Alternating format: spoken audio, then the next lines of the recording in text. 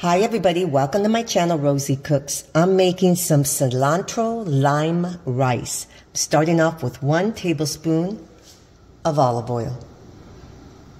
Next I'm adding quarter of an onion. I'm cooking my onion down for two minutes. Now I'm going to add two garlic cloves and I'm going to cook them for about another minute.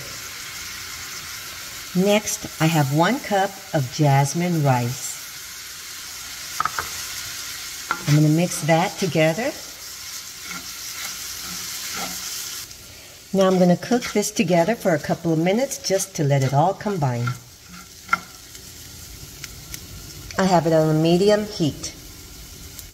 Now I'm going to add one and a half cups of broth.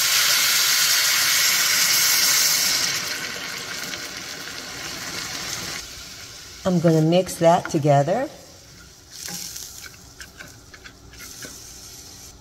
Now I'm going to add a quarter cup of cilantro, the juice from half of a lime, and the zest from half of a lime. And let's mix all this together. Now I'm going to add half a teaspoon of salt. I'm going to bring this up to a boil and then we're going to cover it and simmer it for 20 minutes.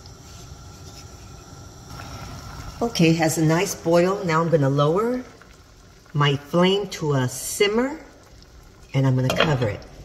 Now we're going to let it continue cooking for 20 minutes. My rice is done. It's been 20 minutes. I'm going to turn off the flame. I'm going to leave it covered for another five minutes. And here is my beautiful rice. Very, very flavorful, very tasty, an easy side dish for any meal. Cilantro lime rice. Thank you so much for watching. Please subscribe, and I will see you next time.